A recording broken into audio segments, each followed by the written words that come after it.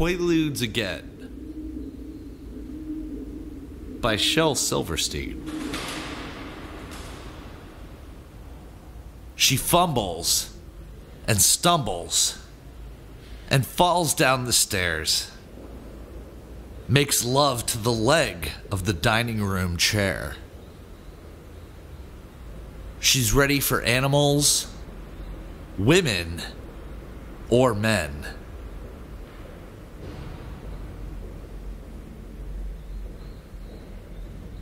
She's doing Quaaludes again.